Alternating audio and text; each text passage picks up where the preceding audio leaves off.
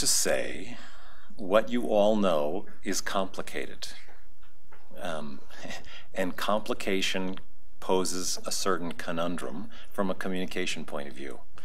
It, it is difficult to share the important things that you know um, almost in direct proportion to how complicated those things are. The more complicated what you know is, the more difficult it is for you to share it, and, and thus I find this, uh, this dictum of Einstein's to be really appropriate, not only to, it speaks to me not only as a scientist, because he's clearly speaking to his science colleagues, and, and it works for physicists, it works for atmospheric chemists, it works for social scientists, um, but it also speaks to me as, particularly as a communication scientist, because this really cuts to the heart of the idea I want to share with you, that if we want, if we know important things that are worthy of sharing with other people, then we have to find ways of making it as simple as possible, but not simpler. The but not simpler caveat means obviously we can simplify to the point of what we're sharing is doesn't come through. It isn't meaningful. It's we we've lost the essence of of why what we know is important. So we need to find ways of making it simple, um, but not too simple. In my world, um, and in your world, because I spend most of my time now in your world. I, am a public health scientist by training. I got my doctoral dissertation, I did my doctoral degree in the field of communication science because I quickly realized as a uh, somebody involved in public health how important it is to get the communication right, to, to co effectively communicate what we know, share what we know with others. Um, sometimes in public health, we do that because we want to help people make better decisions. Hey, Colin. Um, my, my dear friend and colleague, Colin Ackerman. That, I, I think he warned me that he would be showing up, um, but it's a surprise nevertheless. Um, often people conflate the, uh, the desire to share what we know with the, with the objective of changing people's behavior. Communication in and of itself is not necessarily um, enough to influence people's uh, to influence population behavior. So um, and, and I don't know to what degree any of you ever think in terms of changing people's behavior. I know all of you think about sharing what you know more effectively, um, but in, in, terms of sort of the, the broader uh, community of scientists, I often find that these two ideas get conflated. Um, they're distinct ideas. One has to do with um, spreading important ideas. The other has to do with facilitating behavior change. So what I'd like to do in my talk today is deconflate these ideas, separate these two distinct challenges because they really are distinct. And, and moreover, I'm going to, for each of those two challenges, I'm going to offer you a guiding heuristic a simplifying way, a simple way to think about how to mount the challenge. The challenge of spreading your important ideas and the challenge of influencing people's behavior. Um, not necessarily one-on-one, -on -one, but more influencing people's behavior at the population level. So the, the first heuristic, the heuristic for spreading important ideas, um, is simple, clear messages, repeated often, by a variety of trusted voices. At lunchtime today, we had a wonderful conversation, and, and we um, parsed this heuristic, and we decided this heuristic is every, it really, you could say, this heuristic is a perfectly adequate definition of what propaganda looks like. And it's true. This is the, this is the basis of effective propaganda. Um, but this is also the basis of effective science communication and public health communication and really every other form of public communication that you could ever want to think about. Um, so it isn't that this is inherently a force for good or inherently a force for evil. Um, it has been used for, for both to advance noble causes, to advance evil causes, but this heuristic is um, important because everything we know, and much of almost all that I know has come to us from the field of public health. Um, but in the field of public health, we have a 50 year head start over in terms of um, finding what works in terms of sharing important ideas than you all have in atmospheric science, meteorology, climate science, etc. You are you and I put myself in your group now. We are relative newcomers to the field of science communication. My colleagues in public health, we are sort of the original um, foot soldiers in, in the in the battle for uh, educating the public, sharing with the public important ideas that will help them make better decisions and will help us um, create a healthier society, a society where we can all enjoy better health. So let me break down that heuristic. It's a simple statement, but it really does have three discrete parts to it. So I'd like to break those three parts out and, and just share my thoughts about each of them. Um, I, uh, I made Tim up, uh, Tim and I went running this morning and I told him I wouldn't say the first thing about any social science theories today. Um, and I'm gonna, he, he will see I'm gonna keep true to my promise. Um, but why is it important that our messages are simple and clear? It's important because this is a truism of the human brain and human communication. The more we say, the less we are heard. End of story. Say more, you will be heard less. Um, if, it's, if that is true, and trust me, it is true, plenty of science proves it to be so, um, the axiom or the important corollary of that statement is we've got to choose what we say strategically.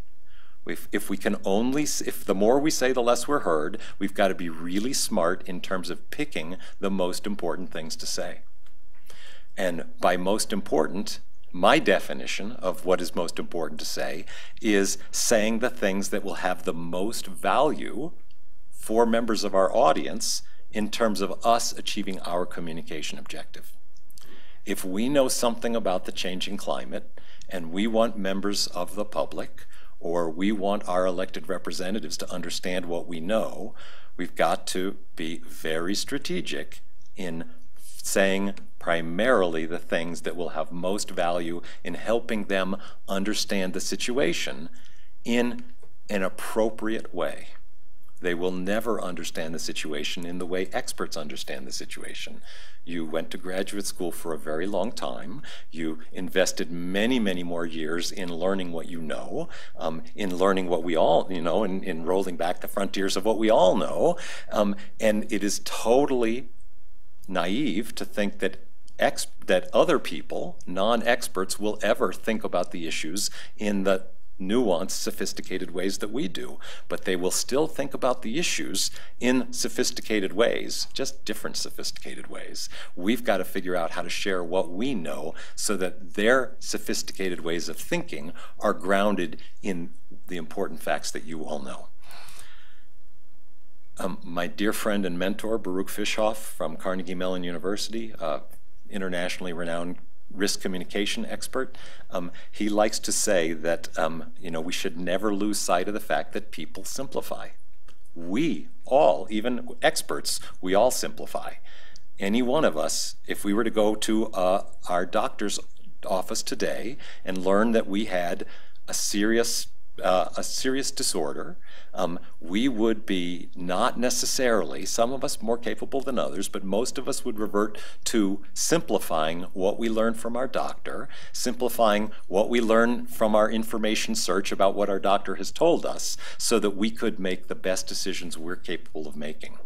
Um, we're all in the same position. So I'm not talking about experts versus laymen. We are all laymen, laywomen, um, when we are taken out of our realm of expertise. So people simplify. It's just inherent to the human nature. Um, our job as science communicators should be to help people simplify appropriately. So again, it comes back to thinking strategically about what is it that we know that will help people simplify appropriately. Um, and my science, communication science in specific, but social sciences in general, um, this is one of the things that we study. How can we identify what kind of information will help people simplify appropriately? It's not just a matter of you know, rolling the dice and saying, oh, there's the message. Um, we actually have a whole science we've developed to identify what kinds of, what, what simple, clear messages will help people simplify appropriately.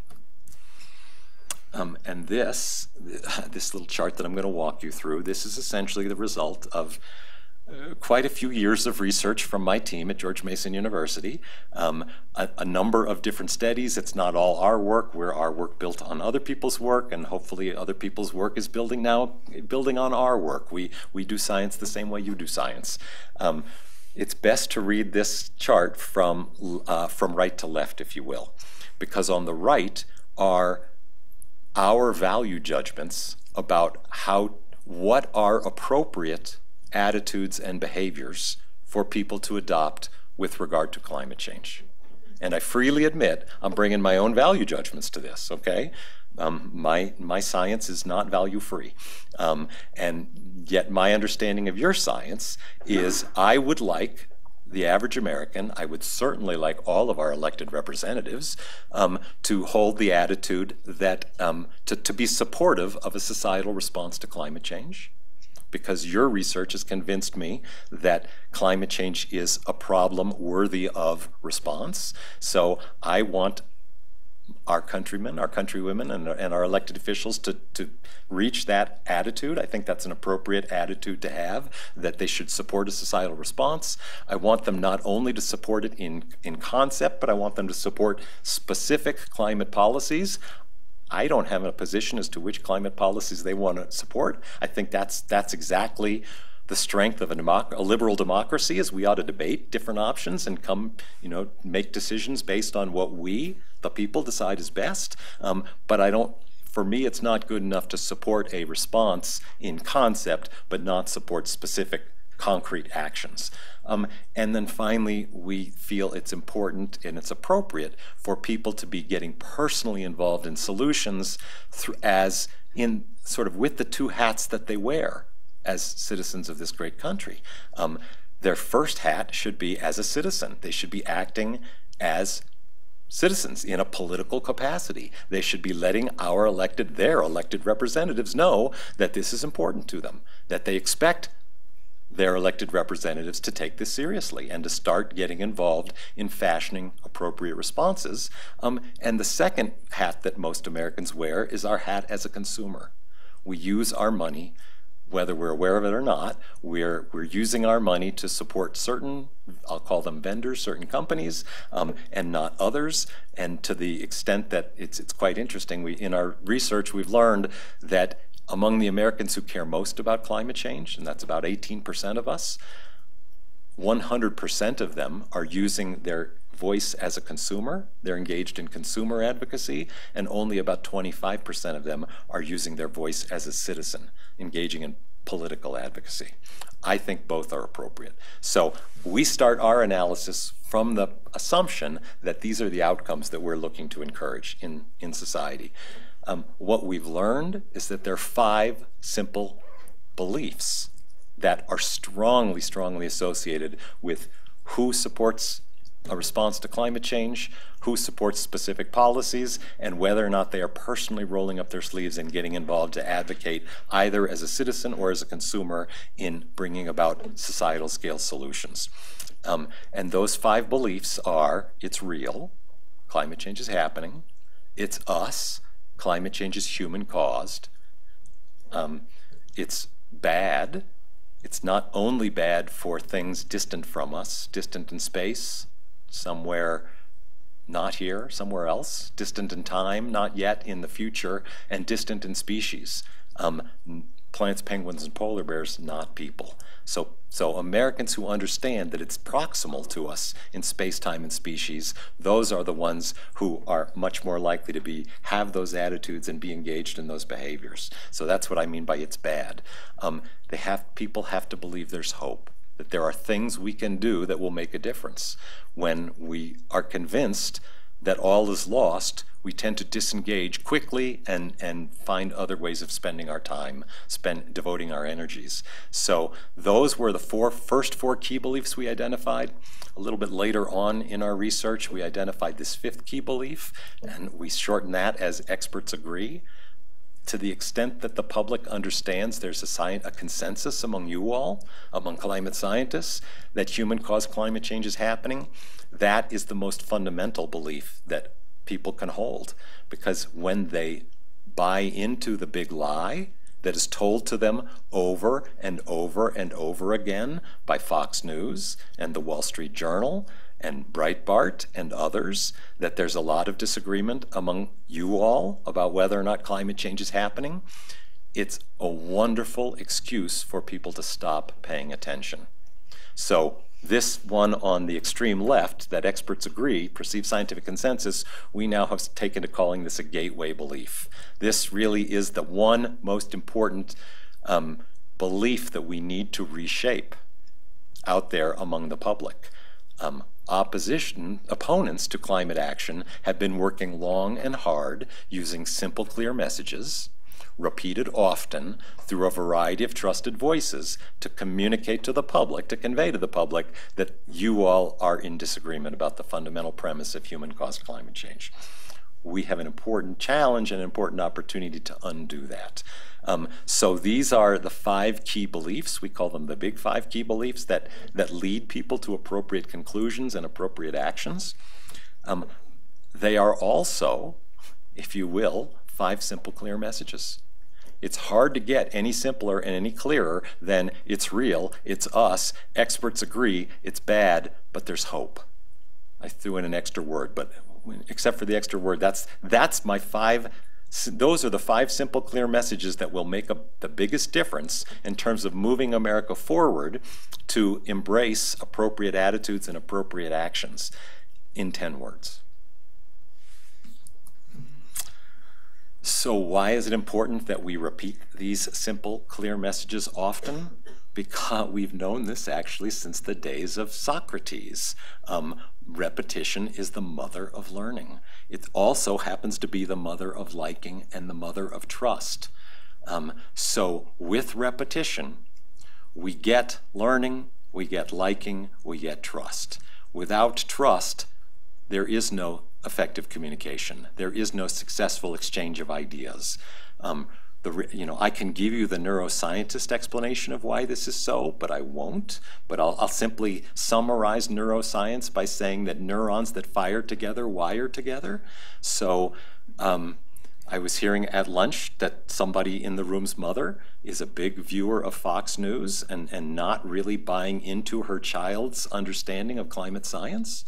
I won't reveal any secrets here, um, but I will say that the reason why Fox News has been so compelling, so convincing at, at convincing this particular parent who loves her child dearly um, is because of sim simple, clear messages repeated often. And Fox News is the master of message repetition um, through a variety of trusted voices. So the other side is has mastered this formula, we need, we as a community, a community of scientists, we're not actually very interested in repeating ourselves.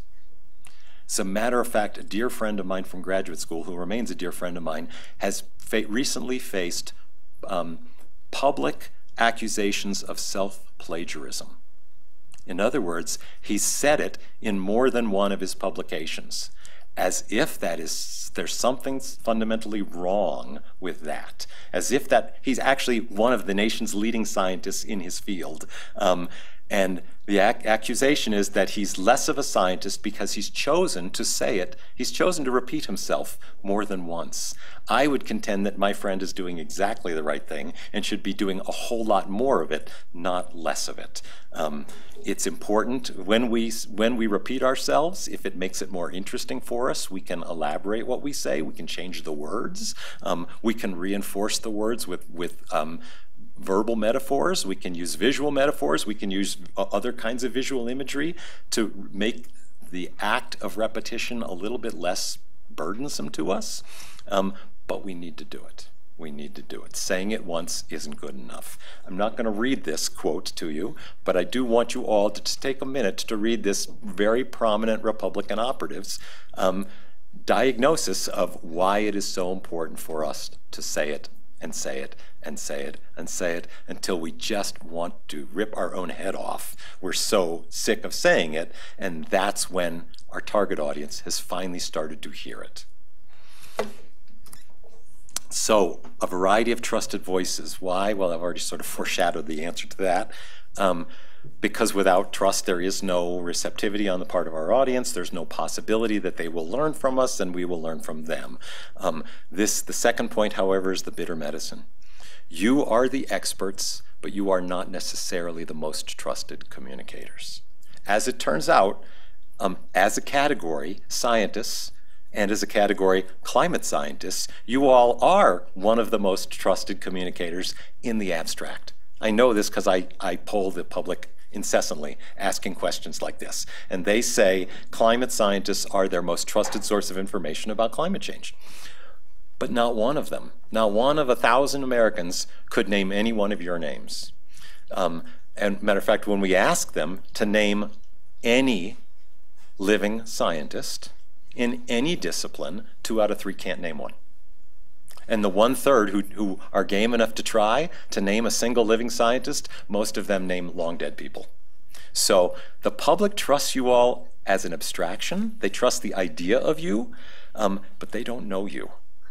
So trust is really a matter of, of interpersonal relations. To the degree to which they know you or feel they know you, the degree to which they know your name, they know your smiling face, they know that you are a person worthy of their trust, that is the degree to which they really will trust what you have to say. Otherwise, it's a very superficial kind of trust. It's sort of presumptive trust, but sort of the trust but verify kind of trust, or Reagan-esque kind of trust. Um, so the point here that I'm trying to make, and belaboring terribly, is that if we aren't the most trusted communicators, the most trusted voices, we would be pretty darn smart to find out who is and to ask them to be the ones who share our simple, clear messages. Because yes, we may be the most expert, but we might not be the most trusted. So we have to find the most trusted voices and ask them, will you work with me to share these simple, clear messages with your trusted voice? Um, and ideally, really the end game in science communication, the end game for science communication should be when members of our target audience start sharing our simple, clear messages with each other because the people we trust most in our lives are the people we have the most intimate relations with, the people we know best. So victory looks like when you are in the supermarket and you hear two people having a friendly conversation among neighbors and you hear your words coming out of the voice of one of those random shoppers to the other. That's what victory in science communication looks like. Um, but that's another reason why our messages have to be simple and clear.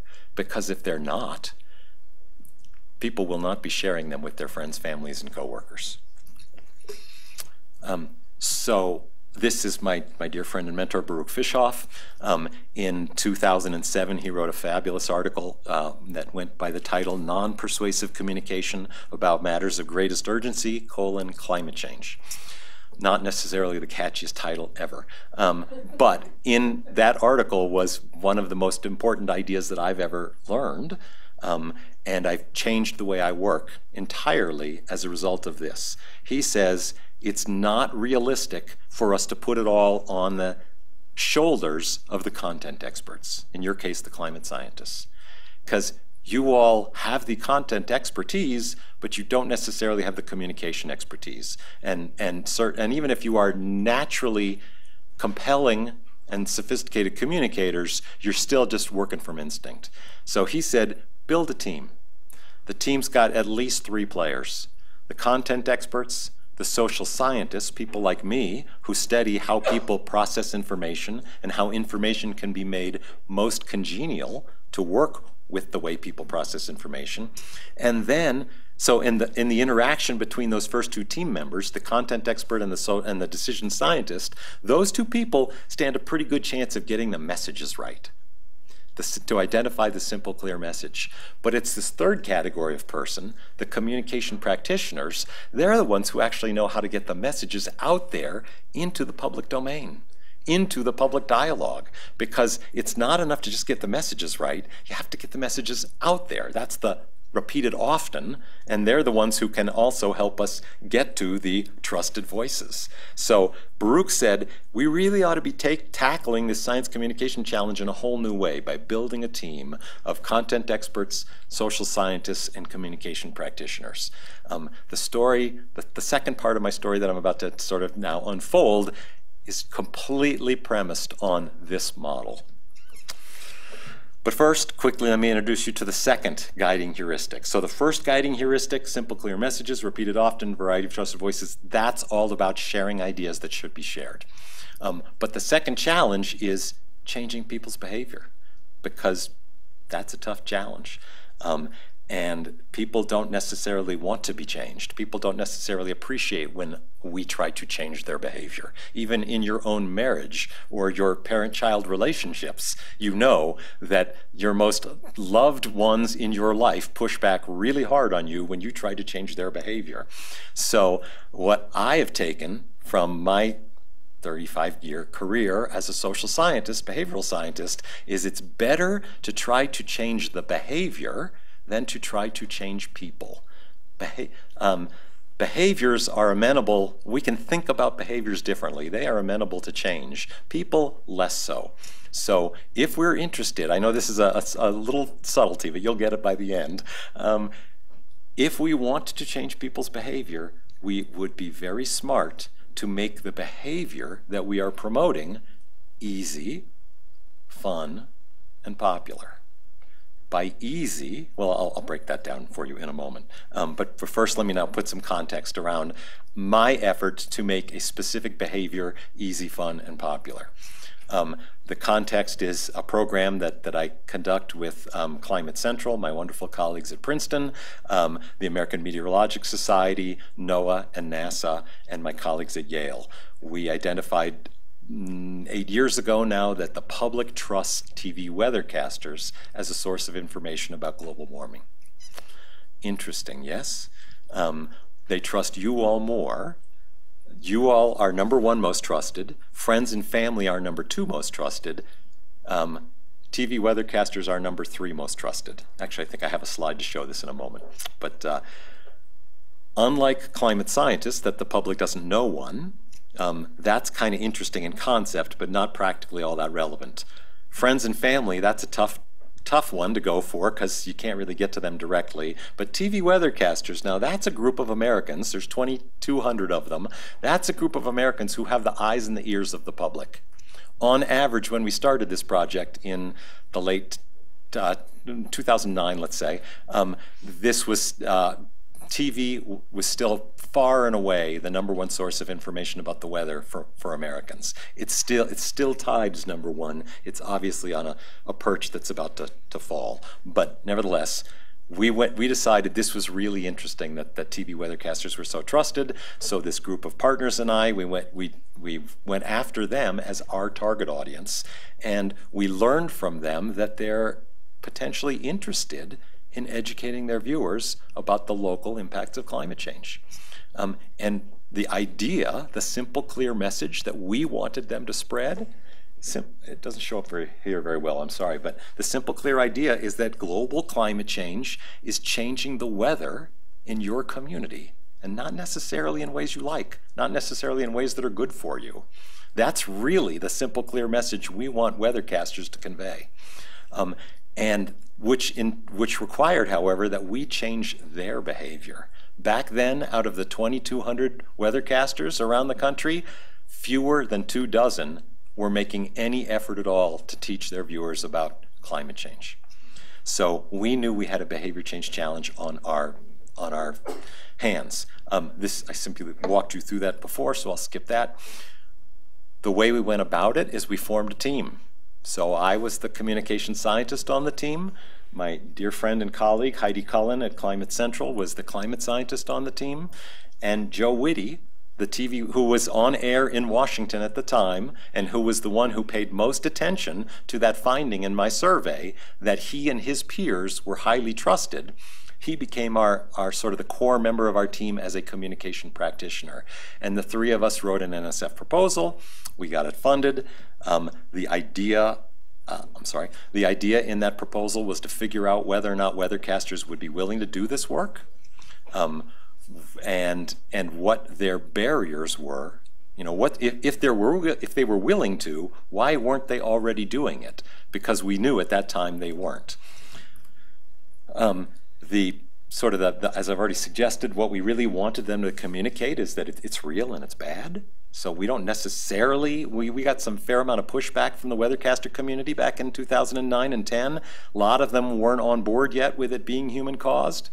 We said, that's okay. You don't have to be on board with that. As long as you understand it's real and it's bad for people in your viewing area, you got everything you need in order to, we're happy to support your efforts in teaching your viewers that it's real and it's bad.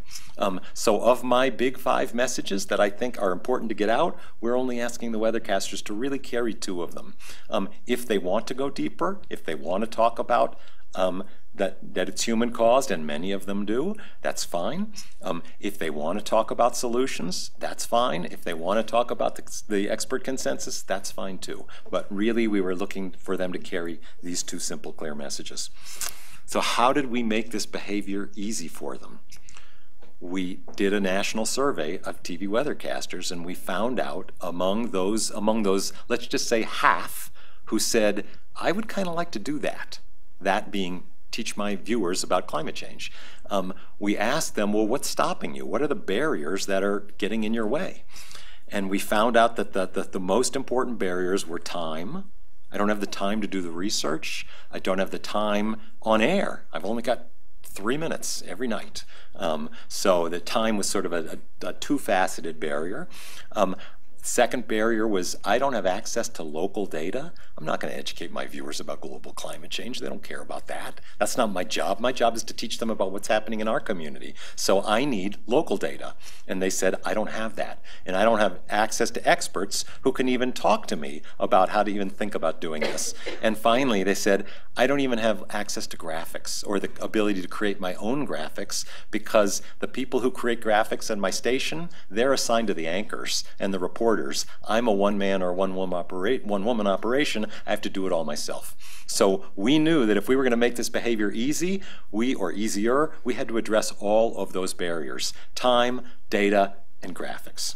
Um, so we set about building the Climate Matters program, which fundamentally all Climate Matters really does is give people, give weathercasters localized graphics that show local data representations of how global climate change is changing the weather and related climatic events and seasonal events in their community. Um, we sort of hit all of those barriers by, by providing, doing the, the pre-production work for the weathercasters. Um, and then another way to make it easy is to show models of what, what it looks like. Show other weathercasters who were doing the work, and so that we could, so that the other weathercasters could learn from these early adopters. So we set out to in, in any way, shape, and form we could, surf, shine a light on the first, the early adopting weathercasters. A whole lot of social science theory behind why that's important. I'll simplify it by saying if we didn't have the ability to learn by watching, we'd all be dead that happens to be the most fundamental skill that human beings have. We learn by watching so that we don't have to make the terminal error ourselves. So we set about harnessing that capacity for observational learning by shining a light on the first weathercasters who adopted this work. Um, this was a fairly early set uh, example of how we make it easy. So this is an uh, this is essentially a screen capture of the email that our participating weathercasters receive from us. Um, that particular uh, this particular story in localized to the Baltimore media market was essentially about you know how 20 uh, um, 2013 was stacking up to uh, to the immediate prior years. So the, the specifics don't really matter. It varies from week to week. There's you know first frost, uh, bud burst, um, number of extreme weather, uh, uh heat events, um, number of extreme forest fires. You know every single week we're producing a story topic and localizing the data, which will be more relevant in some markets than in others. But the way the weathercasters get it from us is they get it in their inbox. It comes with a broadcast quality graphic. They, they take it out of the email, they put it into their iPad now or their production system. They go on the air, boom, they do the story in 30 seconds. I'm going to show you two examples in a moment, and then they go into their forecast.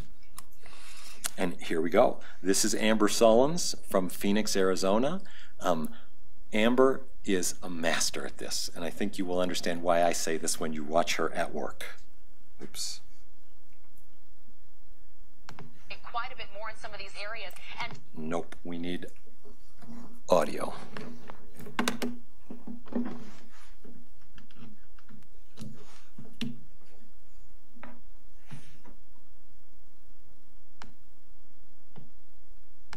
quite a bit more in some of these areas. And talking about climate change, it really is making a difference in the extreme precipitation events that we see. So although the drought seems to be getting worse in a lot of spots across the Southwest, and although uh, overall trends show a drier forecast for us in the coming decades, in terms of extreme events like we've seen today, those are on the increase by about 12% from 1958 to 2011, uh, and really on the increase uh, farther to the east uh, across the northeast portion of our country. But that is making a difference in what happens out there weather-wise for us. And right now we're still on flood alert because we have a flood advisory in effect till 11:15 in the light green here. So that's for the uh, valley and stretching down to the southwest. And then underneath that, an areal flood watch that is in effect for those same areas and then some through 5 a.m. So you could see there was a news hook. They were having an extreme precipitation event, flood advisory. She took the, the and I'm sure you all recognize the National Climate Assessment, third climate assessment graph depicting the increase in extreme precipitation events. She put it in her system. Um, she queued it up. She told a very compelling story that connected people's firsthand lived experience of what just happened, what just came from the sky, and she put some context around it. And and the beauty of what she did is she said, look, you know, we we here in Arizona, we're only getting a 12% increase in this, but if you've got family up in the, the Northeast, they're really getting whacked by this. Um, so it was a beautiful 30 second, simple, clear message delivering the point and I'm not sure Amber would have thought of it this way, but I certainly do, delivering the point that if you don't think you're being touched by global climate change, you're wrong. This is how it's touching you. Um, now, watch for, I shouldn't use, I'm only going to show you two examples, but they're both Amber because she does it so well. Could we turn up the uh, volume a little back there? Oops. This is really troubling. We have new data tonight from Climate Central, and it shows the amount of wildfires in our state increasing steadily in the last several decades, as well as the amount of what's considered large fires. This huge spark, uh, spike, rather, you see in 2011, that's the Wallow Fire. And compared with the 1970s, we're seeing five times more large fires that burn 10 times more acreage. Across the Southwest, the burn season about 75 days longer. And Steve, it really looks like this. So, what does the average viewer get out of this?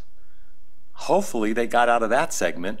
Yeah, if I, it, my intuition was telling me we've got a bigger fryer problem now than when I moved here 20, 30 years ago. But they didn't have any confirmation of that. They just have a, an intuitive sense. And so, what she just did is she showed them the data that confirms their intuition is true, which will give them greater confidence of sharing what they know with their interpersonal networks. So I would contend that, that Amber is doing a beautiful job of sharing simple, clear messages that will help her viewers reach appropriate conclusions about climate change, that it isn't distant, that A, it's real, um, that it isn't distant from them, it's happening in Arizona, um, and it's happening in ways that are actually harmful to them. And, and that's all really important. I, I hope you've noticed the research. Um, so that's how you make it easy. Now, how do we make it fun? How do we make it fun, this behavior, reporting on the local implications of climate change? Well, we make it fun by figuring out what TV weathercasters care about. What are their worries? Well, their worries are they're going to lose their job. A, is, if you haven't noticed, this is a bad time in the news industry. Um, and they're all very job insecure, and they're very worried about their, uh, Amber, Phoenix, Arizona, red state, she's got to be worried about um, viewers who are going to get all pissed off that she's talking about climate change. Um, so it helped us to understand what they were most worried about, but we also found out what they are most, what they aspire to. They, there's only 2,200 of them, I've said that already. They aspire to getting jobs in bigger media markets where they will make more money, um, they aspire to gaining the recognition of their peers because that's a stepping stone to getting a job at, in a better media market where they will make more money. They'd eventually all like to be Al Roker, where they, they will get the biggest audience of all and make even more money. So, you know, I don't mean to belittle these aspirations. These are like aspirations that we all hold in one way or another, most of us hold in one way or another. Um, and in understanding that, it created an opportunity for us to make this behavior fun by showing that that our early adopting TV weathercasters were winning all kinds of accolades from their viewers, from their bosses, um, and from their peers. So the very first one that we worked with was Jim Gandy, Columbia, South Carolina, another really tough market to talk about climate change in. And Jim Gandy, after we worked with him for a year and showed that his viewers learned more about climate change than viewers of competing stations, we nominated him for AMS's most prestigious award for a broadcaster, and he won. He became you know, he essentially, out of 2,200, he came up as number one as the best, most accomplished science communicator that year, and all on the basis of him doing a brave thing, which, by the way, over the course of the years we've been working with him, took their ratings in the news market from number three right? Avis was number two, and they were trying harder. They were number three, the CBS station. They're now number one. So we didn't drive Jim's viewers away by helping Jim educate his viewers about climate change. We invited a whole lot more viewers in. They're now number one in the, in the, in the news market. So that's how we've chosen to, to try to make the behavior fun by understanding what weathercasters respond to, by highly, highlighting those benefits when we offer them the opportunity to participate in this program, um, by doing everything possible to give them immediate positive reinforcement when they use our materials. How do we raise our children? Well, we don't always do this, but our pediatricians always tell us positive reinforcement is a better parenting mechanism than negative reinforcement. Um, that is true for adults as well. So, and if you go to buy a Tesla, you get the immediate positive reinforcement of driving off that lot in a Tesla.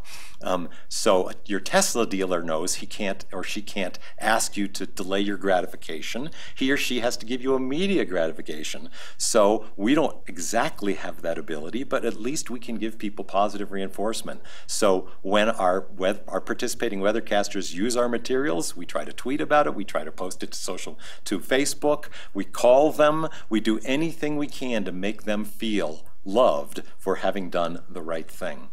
Um, and obviously, anytime you can literally make the behavior fun, you're, you're way ahead. Um, so when we hold workshops where we train TV weathercasters to use our material, we spend a lot of time figuring out how to make those workshops fun. We want them laughing. We want them making, doing silly things. We want them taking risks in a trust in a trust-based environment where if they go down in flames, their their colleagues will cheer for them for having been brave enough to be so silly. Um, all, all of those are the mechanisms that we use to make this behavior fun. The single most important thing that we ever accomplished to make this fun was when we launched the National Climate Assessment in 2014. Um, we convinced the White House that President Obama should spend the time that he was going to devote to the, to the uh, climate assessment launch to giving interviews with TV weathercasters in the Rose Garden. So when some of the rest of us were inside the, uh, whatever the, the Eisenhower Auditorium, whatever it's called, doing the launch of the press event for the launch of the National Climate Assessment, um, which was pretty dry. Um, I admit that freely. Mr. President Obama was with eight of the nation's weathercasters giving interviews, and, and he did that because he knows that this is a tough issue, and he wanted to get directly into communities through trusted voices. He decided even he wasn't necessarily the right trusted voice. Go in through local trusted voices is a smarter way. So that, that was Jim Gandy, by the way, in his moment in the, the Rose Garden. Um, now, how do, what about this making the behavior popular? Okay, um, if it was already popular, we wouldn't have to be trying, um, because when behaviors are already normative, the rest of us tend to fall in line rather quickly. Human beings are very sensitive to normative influences. It's what we call peer pressure. We rarely pressure each other, but just by virtue of the fact when the majority of us do something, it puts an influence on the minority who aren't, where they feel the need to, to comply. Um, but when behaviors aren't yet popular, we can use some tricks of the trade. Um, we can publicize the notable people who are already performing the behavior. So when all we had was Jim Gandy, we spent a lot of time shining a light on Jim Gandy and showing all of the ways in which Jim Gandy was advancing his career and feeling really good about himself based on sort of reaching the aspiration of wanting to educate his viewers. So we used one guy and we sort of made him the message. Um, then we went after other opinion leaders in the broadcast uh, meteorology community. Opinion leaders are the influentials in any social network. Jim Gandy happened to be one of them, but the next people we tried to recruit were all opinion leaders. Because once we had them on our side, once we had them participating in our program, we knew that our job was mostly done. Because if they embraced if they used their trusted voice and their trusted actions to embrace this new behavior, we knew that they would be much more compelling and persuasive than we ever could be. Um, and as the behavior has truly become normative, it isn't yet truly normative. We have about 400 out of 2,200 who work with us, but every time we sort of get to a new milestone, like 200, 100 and then 200 and then 300 and then 350. We make sure that the weathercasters know about this because this gives that this creates that normative appeal, that normative influence that brings them in from the periphery to want to be part of this leading edge of the broadcast meteorology community. Um, as a community of practice, these people have changed rapidly. We know this because we've been surveying them since 2010. We actually have a 2017 survey report. I, I just didn't have time, time to update this. But what was completely out of the norm, non-normative in 2010, is rapidly becoming normative. And it's exerting this incredible pressure, subtle pressure, but a pressure that's making the community of broadcast meteorologists better understand, it's helping them better understand what you all know, and it's helping them in large numbers start to share what you know with their viewers. Um, I've already covered all of this. We've got almost 400 of them now. Um, in English and Spanish, 119 media markets, growing rapidly. Um, the most, the, the, number I'm most proud of on this slide is at the bottom. On between September of 2014 and September of 2016, on-air reporting increased by over 550%. That's big. That's really, really big in a very short period of time. Um, and it all is a testament to making it easy, fun, and popular to report on the local impacts of climate change. So that's what I got for you folks. I went a little longer than anticipated, but I hope we have at least 10 minutes to, to interact, for me to hear your thoughts. And if any of you would like to go beyond 2.30, I'm, I'm here for the duration. So let me know what you think.